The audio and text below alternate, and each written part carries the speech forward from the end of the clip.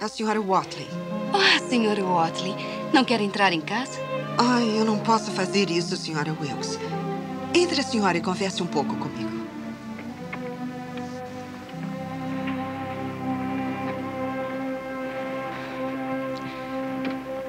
Como lhe agradecer pelo que fez por nós? Como poderíamos agradecer? Eu recebi o recado de que a senhora ia lá em casa para me agradecer.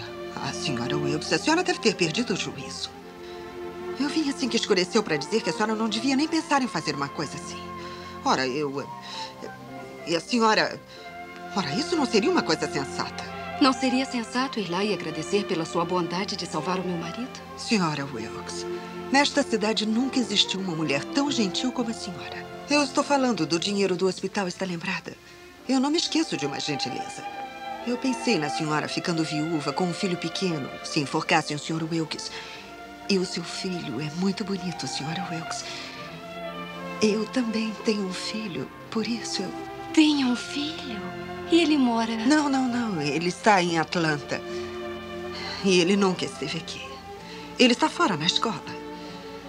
Ai, eu não o vejo desde pequeno. É, bom, de qualquer modo, bem, se fosse o marido da senhora Kennedy sozinho, eu não o ajudaria, mesmo que o Capitão Butler pedisse. Ela é uma mulher muito insensível, andando sozinha por Atlanta. Ela o matou como se tivesse atirado nele. Não deve falar assim sobre a minha cunhada. Oh. Oh. Por favor, não fique assim, senhora Wilkes. Eu esqueci o quanto gosta dela. Mas não tem a mesma classe que a senhora, e eu não posso deixar de pensar dessa maneira. Bom, de qualquer modo, eu tenho que ir embora. Eu tenho medo que alguém reconheça a Charrette se eu ficar aqui por mais tempo. Isso não ia lhe fazer bem. E, senhora Wilkes, se a senhora me vir na rua, não precisa falar comigo. Eu entenderei. Terei orgulho em falar com a senhora. Orgulho de lhe dever essa obrigação. Espero reencontrá-la.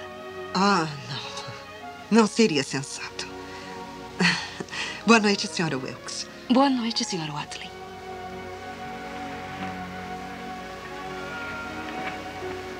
E se engana quanto à senhora Kennedy. Ela está sofrendo por causa do marido.